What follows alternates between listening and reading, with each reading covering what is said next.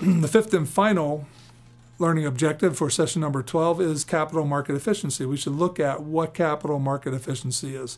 We know that the values of stocks fluctuate uh, by the second and also uh, from year to year, and these values fluctuate because of changes in information. And essentially, an efficient capital market is one where uh, prices change rapidly and adjust rapidly to changes in information. We may have one of three things happen to our stock price. When there's a big announcement like a new iPod or a new iPad coming out, you may see an efficient market reaction where the stock price goes directly up to a new level. Uh, you may have a, um, and we're going to call that the efficient market reaction, where prices instantaneously adjust to fully reflect the new information. Uh, you might see a overreaction and correction, perhaps um, what Greenspan once called over uh, irrational exuberance. That's what it was, irrational exuberance. So we might have an overreaction and a correction back to that what we would call efficient market level. Uh, or we may have a delayed reaction where the price will slowly adjust to that efficient market uh, level. In this case, uh, you see eight days elapse before the price completely is reflected.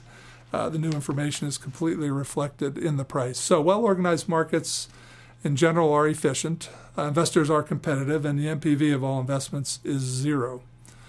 Um, so, that's an efficient capital market, a market where uh, stock prices and instrument prices uh, react quickly to changes in information. And you may have three types of uh, capital market efficiency strong form efficiency, semi strong, and weak form. Strong form efficiency is where all information of every kind is reflected in stock prices. Semi strong is all public information is reflected.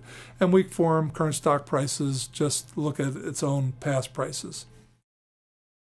We hope you've enjoyed this very interesting session on um, lessons from capital market history. We've had uh, five learning objectives how to calculate return on investment in percentage form and in total form.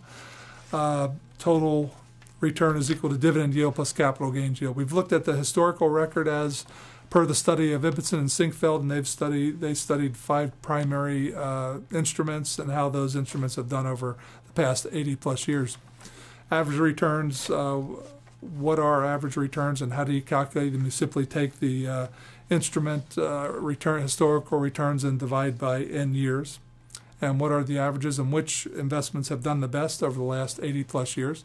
Uh, how these returns can vary was the topic of learning objective number four, and how to calculate the variability, the variance, and the standard deviation, and what all that means.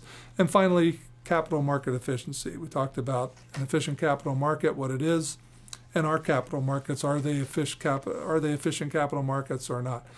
We hope you've really enjoyed this session on lessons from capital market history.